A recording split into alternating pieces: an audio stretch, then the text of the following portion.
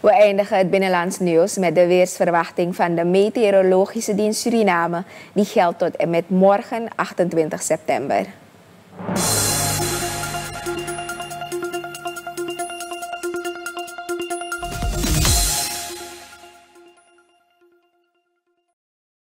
Aan het begin van de avond komen er lokaal nog enkele lichte buien voor. Tijdens de nachtelijke uren is er mogelijk kans op enkele plaatselijke lichte buien. Aan het eind van de nacht ontwikkelt er plaatselijk nevel en of mist, voornamelijk in bosrijke gebieden. Morgen, donderdag 28 september, is het lokaal winderig en blijft het droog weerbeeld aanhouden. Tijdens de morgenuren zijn er enkele plaatselijke regenbuien, terwijl ten noordoosten van het land kans is op een onweersbui. In de middag is het overwegend droog met zonnige perioden.